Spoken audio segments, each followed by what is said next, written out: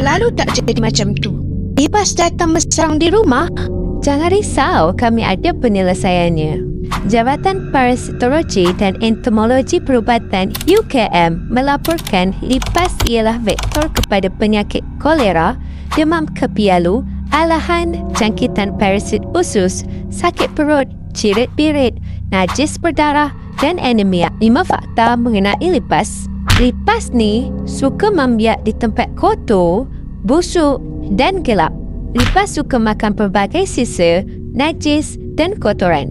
Mereka juga boleh memindahkan virus, bakteria dan parasit yang ada pada badan mereka kepada makanan yang dicemari. Jangka hayat lipas boleh bertahan sehingga 2 tahun. Sepanjang hayat lipas betina boleh menghasilkan sehingga 3,600 biji telur. seramnya. Lagi seram bila spray lipas tak masak tu. Cuba try ni pula.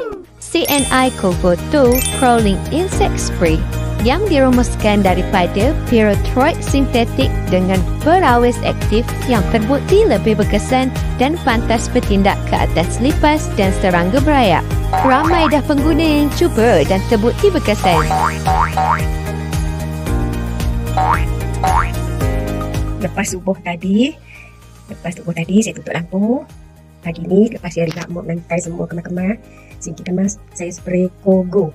Kogo adalah semburan untuk serangga yang merayap, bukan saja lipas, semut dan juga serangga-serangga lain yang merayap. Dia akan bunuh secara perlahan-lahan.